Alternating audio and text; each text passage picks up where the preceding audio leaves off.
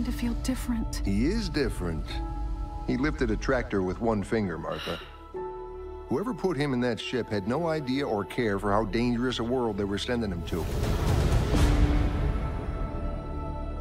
Breaking news. An unidentified object heading towards Earth was detected by Star Labs. Look!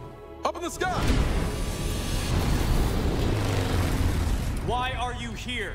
Why are you here, Kryptonian? Lois, and you are? I'm Clark Kent. This planet is protected, alien. It's ass whooping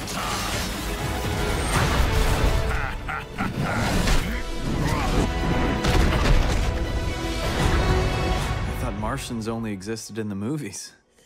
Those movies are terrible. Are you right, Miss Lane? What's the S for? Superman.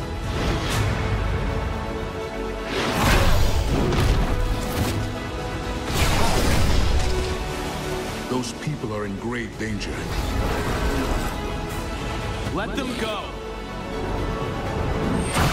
My name is Kal-El of Krypton, and I come in peace.